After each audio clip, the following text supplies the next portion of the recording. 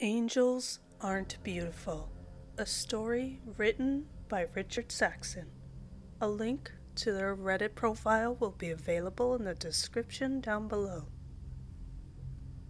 My father was a harsh and broken man, nothing more than an empty shell of his former self after serving one too many tours in a war no one ever understood why we fought. It didn't help when my mother, who'd already checked out mentally, fell pregnant with an unwanted child. Rather than reveling in the joy of creating life, my father dug himself deeper into the bitter hole of hatred he had spent so many years digging.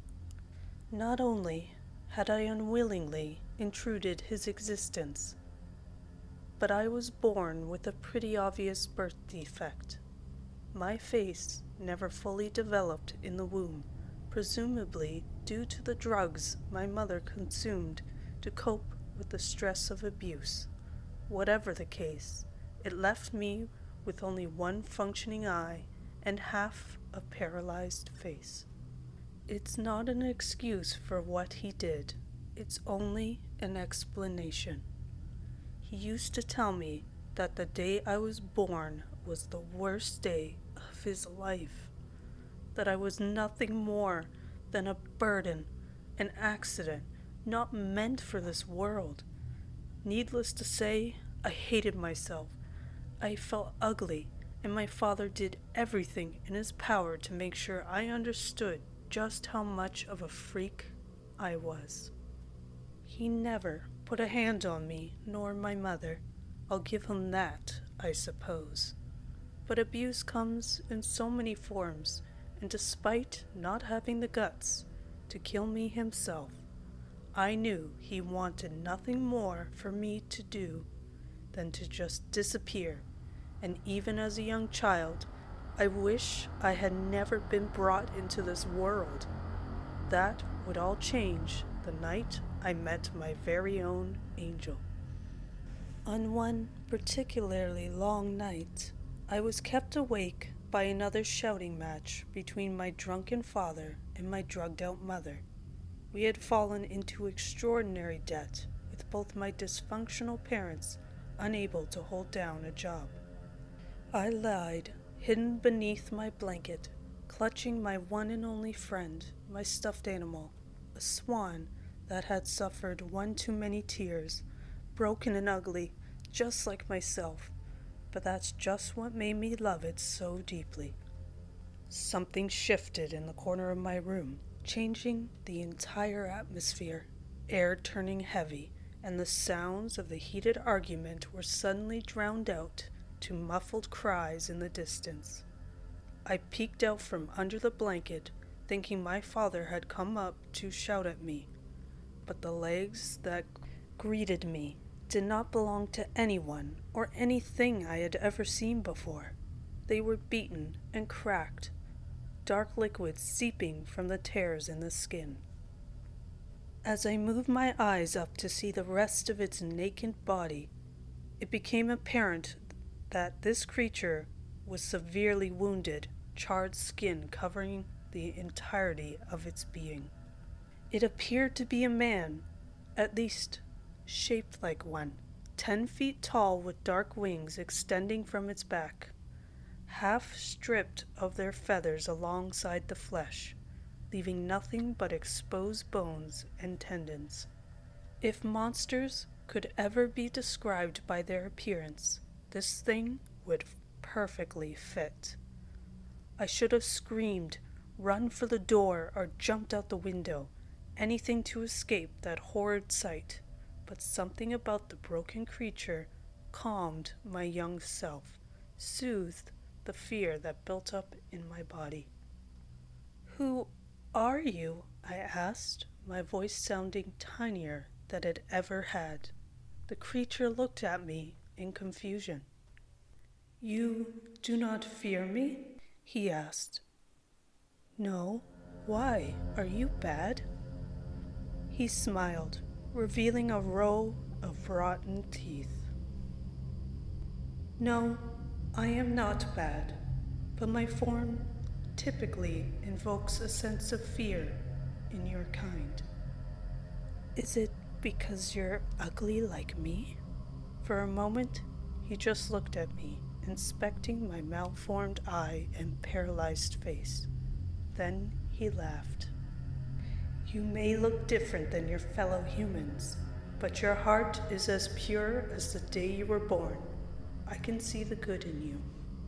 The creature spoke in words my young self couldn't fully comprehend. But from the little knowledge I had, I could understand what he was. I never really knew my grandparents.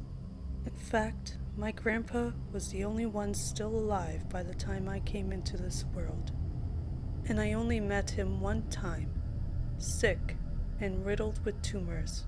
He told me a story about the purest creatures in existence, the ones that would look after lost souls such as himself during the final moments in his life. And for a reason I cannot fathom, I connected his comforting words with the thing that was standing before me in my room. Are you an angel? I asked. He thought for a moment before responding. I am a type of angel. Then what's your name? My name? Our kind has no use for names. Everyone has a name, but if you don't have one, I will choose one for you. I thought long and hard before finally settling on the most suitable name I could come up with for the angel. I will call you Gary, I said excitedly. Then that will be my earthly name. I glanced over his body once more wondering if he had been born damaged like myself, or if someone had hurt him. How come you look like that? Putting myself in a physical form comes at a cost, and it takes a toll on my existence. You see, I was not granted permission to come here. By then, my parents had stopped arguing I must have been louder than I thought because shortly after I heard someone pacing through the hallway towards my room. Being loud after bedtime was a strict no no, a rule that only applied to myself. My father slammed the door open and barged into my room, holding onto the neck of a half empty bottle, slurring his words. I have had it with this sh. He stopped dead in his tracks, gasping briefly before suddenly choking. Something invisible stopped him from moving an inch, and I saw the angel staring intently at my father with a gleaming smile across his face. What the hell are you? My father managed to push out between gasps of air. I am here to protect this child. You have inflicted enough damage, and now you will receive my judgment. My father started twitching, joints bending in unnatural directions, cracking beneath the unseen force. He gargled, coughing up blood as his body contorted into an undefinable mess of flesh and viscera. Before I could even process what was happening, he expanded, boils and blisters appearing on his skin moments before he exploded, covering the wall behind with whatever remained of his existence. I let out a quiet yelp. It was as much as my terrified little body would allow. I'm sorry you had to witness this. Had there been another way? The creature was interrupted by my sulking. He meant you harm, and with time he would have caused your death. Not today, nor tomorrow, but I had to stop him before he caused irreparable damage. With a wave of his hand, the remains of my father turned to dust and disappeared, leaving no trace that a murder had just happened. I have to go. I will return when the time is right, but I'm afraid that this is just the beginning of things to come. I am so sorry. I don't remember much else from that night, apart from my mother hysterically screaming as she realized her husband was gone. The police asking questions as he was reported missing. Of course, they never found him, and with the assumption that he had simply taken off, the investigation quickly turned cold. It was a bittersweet turn to a better life. Things rapidly improved in the next couple of years following my father's death. My mother did her best to get clean from drugs, even got a job, and for the first time in my life, I felt like someone loved me. The trauma I had experienced did not linger over us. It was as if something was protecting my memory, preventing me from reliving that terrible moment. My mother and I moved away to a different city, attempting to create a fresh start. Getting enough money for such an endeavor proved difficult, but somehow we managed. At least, so it seemed, for a short while. Unfortunately, it wasn't meant to last. Despite her best efforts, it's not a, an easy feat to be a single mother trying to battle addiction while hopelessly drowning in debt. One slip up was all it took, which just happened to occur during my first day at a new school. I could already tell something was wrong when she picked me up from school, and in hindsight, I should have understood enough to alert a teacher, but suffering from trust issues and being incapable of thinking even moments ahead, I let her get behind the wheel of a car. Not five minutes after we started driving, she missed a stop sign and we were hit in the side by a bus. It's true what they say. Time really slows down as adrenaline surges through your body. The sight of glass shattering through the car and metal bending inwards is something that has been stuck in my mind for many years. But no matter how hard I try, a moment of pure terror is all I remember before blacking out. When I came back to it, I found myself lying on the side of the road, somehow unscathed from the ordeal. I could see our car smashed to pieces further down the road, but something had taken me out before I even hit the ground. I'm sorry, a familiar voice said. I turned around to see my angel standing above me, even more decayed than the first time we had met. His flesh had fallen from his chest, revealing ribs and organs, still pulsating heavily with each breath. Where's my mommy? I asked. I could only save one of you. His words carrying the burden of guilt and sadness. He bent down to my level, reaching out his rotten hand. I believe this belongs to you. It was the swan plushie. He brushed off some pieces of glass and gave it to me. She's dead, isn't she? I asked. He nodded. Why couldn't you save her? I was not supposed to. Why not? One day you will have all the answers, but until then, you have to be patient. It is not time for you yet. I don't understand. Before I could ask more questions, the angel had disappeared leaving me alone with no one but the mangled corpse of my mother still stuck inside the car. Years passed, and I spent most of my childhood moving from one foster home to another. Trauma and abuse takes its toll on a young child, and as it was, I simply couldn't fit in with a new family, and I found no one willing to take care of someone so broken. Every now and then, I would remember the angel's words from our first meeting that the bad things were just beginning. But though my childhood was lonely, it was relatively safe. I wouldn't see my angel again until I started high school. If you ever thought bullying stops at a certain point during education, that people somehow mature as they get older, you'd be sorely mistaken.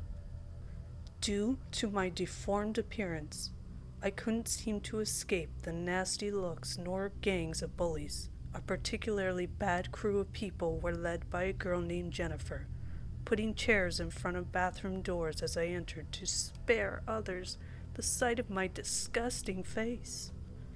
One day, just following physical education, I wasn't fast enough to shower and exit the locker room, and as a result, I found myself trapped by Jennifer's vicious gang of misfits. They had stolen my clothes, pointing out that if I had just spent the rest of the day naked, maybe it would distract people from my disfigured head. They laughed together as they shoved me around, cold, wet, and naked. I could do nothing but hold back my tears. Out of nowhere, my angel appeared he placed himself directly behind the squad of girls and looked at me. His wings had mostly fallen off by that point, leaving only a few bone fragments protruding from his back, and his face had become unrecognizable mess of torn flesh. He simply nodded before vanishing into thin air as he always did. No sooner had the angel left before Jennifer started screaming her lungs out. She had glanced in the mirror and had seen the angel, but that wasn't what caused her to get so upset. What have you done to me, you crazy witch? she yelled at me. I didn't understand what she was so freaked out about. If not the sight of the angel, then what could be so bothersome? But I didn't care to stick around, and after getting dressed in record time, I spurted out of the room. No one bullied me after that day. However, the rumors had reached every corner of the school, and people genuinely thought I was a witch. Jennifer never returned, and no one could tell me what happened to her. Whatever it was, she didn't deserve it. Despite the things she did to me, no one deserves the wrath of an angel. I spent the next few weeks searching out the angel, waking up at night yelling for his attention, but he had never responded. And in a bizarre and cruel turn of fate, the bullying had become the only attention anyone ever gave me, and without even that, I felt more isolated than ever. Sleep eluded me and for each night spent crying, I came closer and closer to finally taking the step and ending my miserable existence. I guess the angel didn't see that coming, because for some reason he appeared to me once again, only this time I was my own danger. You finally come to see me again? Why do you even bother? Aren't there anyone more important you can protect someone who actually matters? You have a good heart. That is why I chose you. He said calmly. Chose me for what? I responded, more annoyed than sad. He didn't respond to my question. I was once human too, a long time ago, and I was chosen to protect people. And even now, I do not know why they chose me. So you were picked to protect people like me? No. My job was to protect important people, those who would have an impact on history, and I followed those orders for millennia without questioning my orders, fully believing that it would shape history, lead it in the right direction. But the people who impact the world aren't always good at the core a fact it took me far too long to realize. I was confused at that point in time. It didn't feel like I would have any important impact on history, so I asked the only question I could. So you think I'll have an important impact on the world? He shook his head. I cannot define importance, nor external beauty, nor fairness. I abandoned my post because I stopped believing in it. That is why I deteriorate each time I visit you. I am not supposed to protect you. So why do you? Because you are a good person. Good enough to let other people suffer? I asked, getting angrier by the minute. He looked at me in confusion, as if his past actions hadn't allowed other people to get hurt, to even die. I do not understand. What did you do to Jennifer? I demanded to know. She had been a horrifying nightmare during the last couple years. But did her torture warrant whatever the angel had done? I only made her see what she truly is, he said. And what is that? Someone with darkness in their heart. I shook my head in a mixture of sadness and anger. What's going to happen to her? That does not matter. Yes, it does. The truth about herself will weigh her down, and she'll eventually give up on herself. Because the only thing she sees in the mirror is her own soul. Her life will end by her own hand. We stared at each other in silence. Despite no words being spoken, we communicated. The angel showed me visions of the future, the pain I would go through because of the evil in people's hearts, and he showed me that all of it could be fixed if I only allowed him to help me. I won't let you do this. Stop it right now. I have to protect you. Not like this. You care about her, despite what she has done? I thought about the statement for a while. Of course, she meant nothing to me, but letting someone kill themselves so I could avoid discomfort was a disturbing thought. Whatever you did, undo it. This is not how I want to deal with my problems. So her actions should not be punished? She is a kid like me. She can still change. He acknowledged my demand, and I could tell he was about to leave. Wait! I rummaged through my drawer to look for my old things. After a minute, I pulled out the swan plushie from my childhood. By then, its color had faded, and each limb was partially torn. This is for you to remind you that just because something is broken, it doesn't mean it's not beautiful, and it doesn't mean it can't be fixed. With that, he disappeared once more. Over the next decade, he appeared a couple times, but never got close enough for us to exchange words. Even from a distance, I could tell he was falling to pieces degenerating more with each appearance. Though my life never felt threatened, I know he must have done something to save my life. I'm not even sure I want to know. Only hints of dangerous things would let me know that there are horrors in this world around each corner. And if we knew half of it, we'd probably be too terrified to even leave our homes. I started wondering if everyone had their own angel like mine, one that had abandoned their post in order to protect insignificant but decent people. It wouldn't be until the summer of 2018 we would come close enough to even exchange words, and as I now know, it would be for the very last time. A simple night out after years of coming to terms with my past. I had gotten an education, a job, and even a few friends. Life had become bearable. We decided to hit the clubs. My friends insisted I try something new. But I left early. Clubs were really not my scene. But it's not always safe to go home alone at night. It's not safe when people think you're an easy target.